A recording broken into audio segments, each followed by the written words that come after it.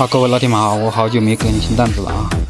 这个银浪很好，粉丝继续的啊。这个 Mate 二零重摔机啊，之前也拍过段子，大家可以看到啊。它这个是摔了以后啊，这个框变形，但是框被我校正过来了啊，非常直啊。然后它这个换了屏幕总成啊，屏幕总成还有后壳啊，然后大家可以看效果。嗯，非常的完美啊！然后我们再测看一下屏幕啊，屏幕也是非常的完美啊。然后我们触摸显示效果非常的 OK 啊。然后我们再测试一下触摸。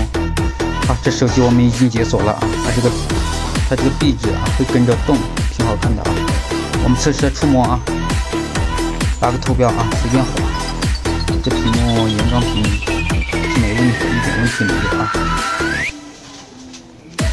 完美啊，然后后口全部换掉，待会联系客服付款发货，双击加关注，感谢支持哦。哦，对了，还有一点就是它这个之前摔的这个位置啊，这个位置比较严重，这个位置对应的啊刚好是那个呃信号的部分啊，它这个没有信号，主板没信号，但是经过我几天的维修，那信号也出来了，四 G 满格，非常的完美。好，就录到这里，双击一下关注啊。